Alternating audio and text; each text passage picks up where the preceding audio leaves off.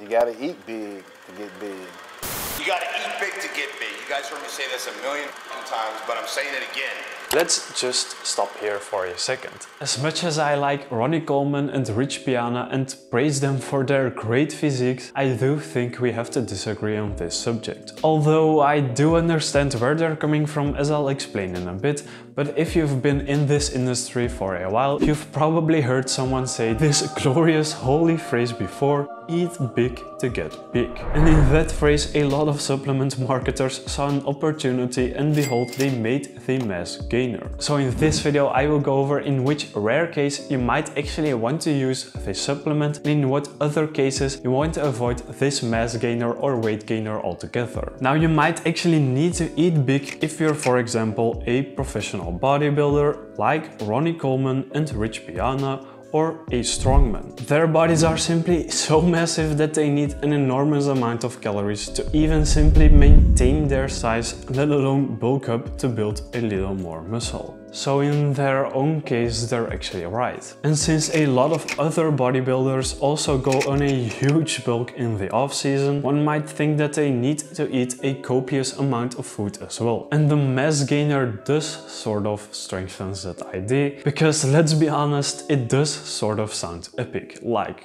mass gainer. Just the idea of packing on a huge amount of size and getting jacked makes me pumped and want to go to the gym. But it's time to get real here. You probably don't need that much extra calories. Most people will only end up gaining excessive fat, which they then need to cut off, which they won't because cutting is very difficult and they will just end up staying fat. In this case, it's very obvious that a mass gainer will do more harm than good, but in a few rare cases, it might actually be helpful. In this video, I will go over what's exactly in a mass gainer, how much protein most of you need, how big of a calorie surplus you should probably eat to build an optimal amount of muscle without gaining too much fat and who can still benefit from this supplement and finally whether I think you should take it or not. So without further ado let's start with what exactly is in a mass gainer and why someone would want to take it. The mass gainer is simply just protein powder with extra sugar a lot of extra sugar. So if you need a few extra calories to gain muscle, this supplement is just very convenient. But that's where the catch is. When you need those extra few hundred calories. And let me emphasize this again, only when you need the extra calories. And even then you need to give your body high quality food first to actually build muscle. You can't expect a supplement to fix the rest of your diet. In reality, these supplements aren't that too high of a quality either when you compare them against real foods like chicken breast and such. So that's why it's important to note that if you haven't tried fixing your diet first, you probably shouldn't even be looking at this supplement. I'm very sorry for telling you what you need to hear and not what you want to hear. But even those guys like Rich Piana and Ronnie Coleman, they just ate like crazy instead of opting for this weight gainer. It's difficult at first, but it's definitely a better option to get as much real food in first and then supplement with what you need if you fail to get it out of your diet. So in the next part we're going to assess why one would benefit from the mass gainer because he needs the extra calories and if you're a skinny guy it's very common for you to think that you need it but it's not necessarily true. But before that I think it's best to describe this situation for the people that don't actually need it because in this case it's a lot of people. If you haven't actually tried fixing your diet I think it's already clear. It won't help you because what you're eating is probably crappy to begin with. And I think there's a saying that you can't polish a turd and I think it heavily applies in this case. But the next part will also help you a bit with that, so don't click away just yet. In my intro I briefly discussed the idea of eat big to get big and while it's a topic for a whole different video I will briefly discuss what the research suggests on what the most optimal calorie surplus is for the majority of people to build muscle. And before that, it's important to mention that you actually first need a sufficient amount of protein to build muscle as well, otherwise you're just going to add If you're for example only eating sugar as a diet, you won't build any muscle and in fact you might even lose some muscle mass as well. So my recommendations are from 0.8 to 1.2 grams of protein per pound of body weight or 1.6 to 2.2 grams per kilogram of body weight. I won't go over it in detail because I have done so in the past, but for example Brad Schoenfeld, one of the most important researchers out there,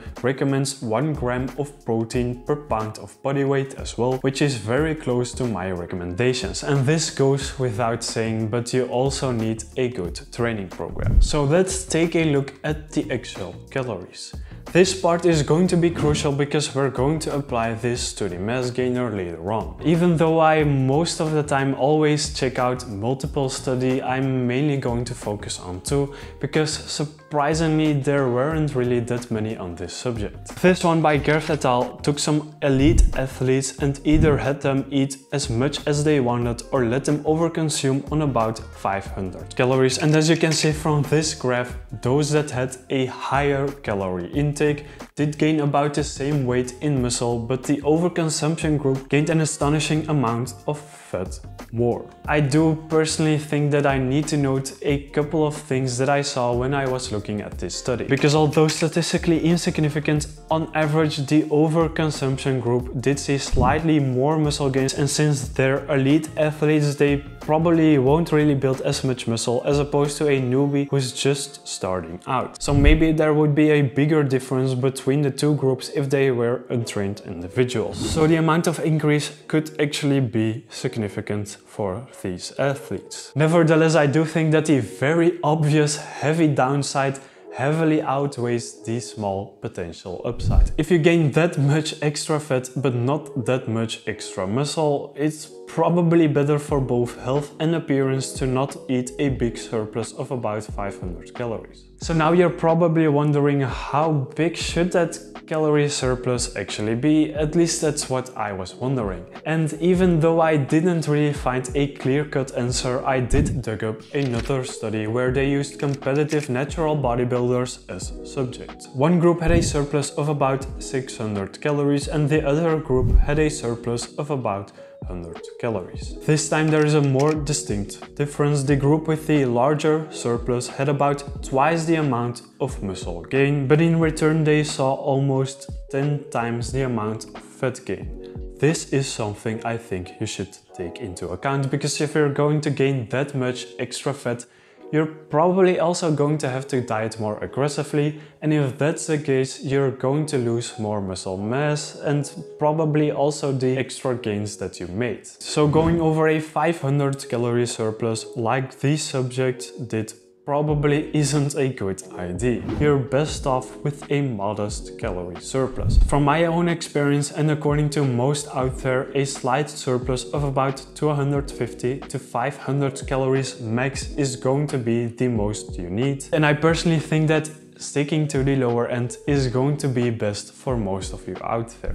And if you're even at a point where you're above 20% body fat, I do think that health comes first and that you need to lose the fat before you go on this lean bulk. Okay, so now that we've got the ideal calorie surplus, it's time to take a look at who can benefit from this mass gainer. And for this, we're going to first compare protein powder versus this supplement because of course most should take a look at their total protein intake. I think you should aim for a maximum of one protein shake per day. The rest of your protein should come out of your diet. Yes, if you don't get it out of your diet, more than one protein shake will probably be better, but just Eat a damn protein, you're probably making an excuse if you need more than one shake. Now we take a look at the calories because the amount of protein is going to be about the same for both mass gainer and the regular whey protein powder. Now I looked at both the mass gainers and the protein powders